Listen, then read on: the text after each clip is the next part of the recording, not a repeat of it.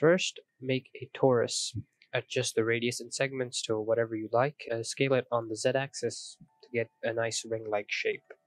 Once you're happy with that, apply a subdivision surface modifier and shade the object smooth.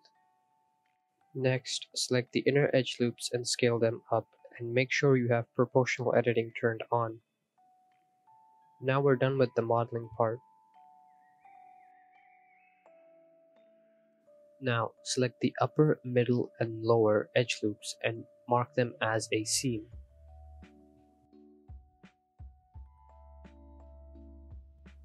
Make a plane below the ring so you can see the shaders correctly in the next part. Also add an HDRI so you get those nice reflections.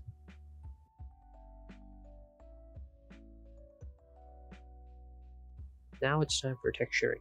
Make a new material and import image that I have linked in the description below.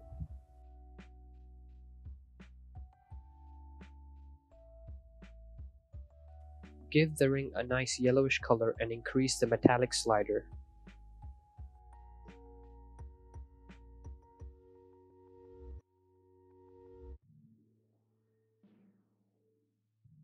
Add a color ramp and plug the image into the color ramp.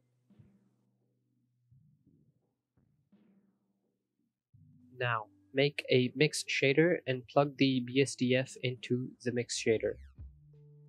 Adjust the color ramp so the inscription is yellow and everything else is black. Now, open the UV editor, select all the vertices on the ring, and click U Unwrap. Now, in the UV editor, adjust these squares just like I do.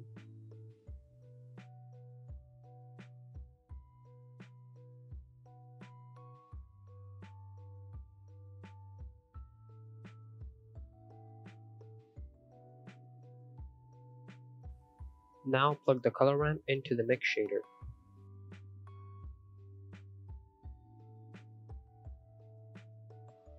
Adjust the factor so that it blends in.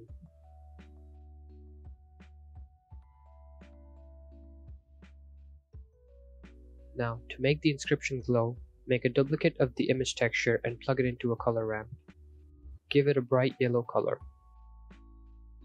Adjust so you can only see the inscription and plug that into an emission shader. Make another mix shader and plug the previous mix shader and the emission shader into it. This strength slider will control how much you want it to glow and you can animate it. And that's pretty much it. You can now add a floor texture and make a render or you could do whatever you want with it. Maybe take it up to Mordor. If you like this video, consider subscribing and liking the video and I'll see you next time. Peace out.